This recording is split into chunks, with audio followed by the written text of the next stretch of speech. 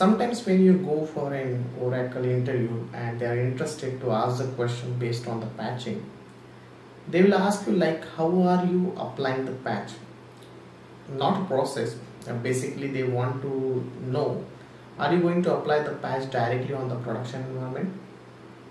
So that they will come to know whether you have a real-time experience with the oracle db or not. Because this type of answer you will never find it in the google and only the experienced person have the idea about how to apply the patch. And even the patch is not something which you can find it on the google. And basically we need to download it from the oracle support only where the access is required. So if you want to apply the patch we should have a downtime. We need to we need to shut down the database services and that information will be there into the readme.txt file which comes when you are downloading the oracle patch from the oracle metalink. Now the question over here is are you going to apply those patch directly on the production? No. If you work with any oracle db environment you will find different different types of databases server just like development server then we have test server. And then we can have your production server.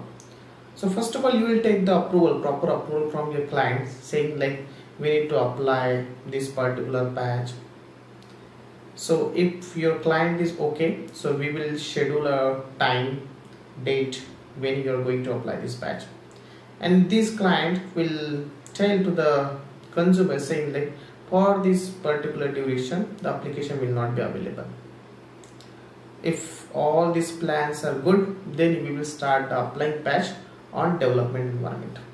So first of all we will apply the patch on development. If the patch is successful there is no issue then we will do the same activity on test.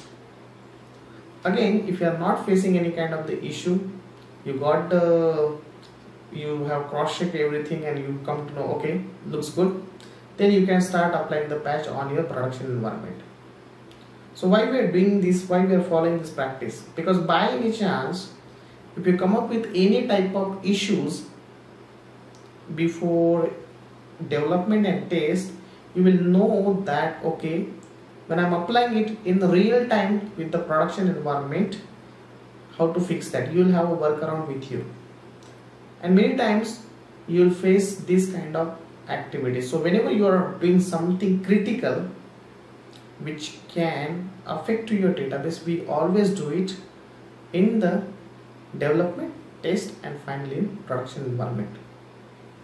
Because at last moment if you come up with any sort of issues we cannot shut down your databases for longer time. We have some enough maybe 30 or 1 hour type of duration you will get it where you need to fix all the issue otherwise you need to roll back the changes and again it will be a big trouble there so these things you should know as a Oracle.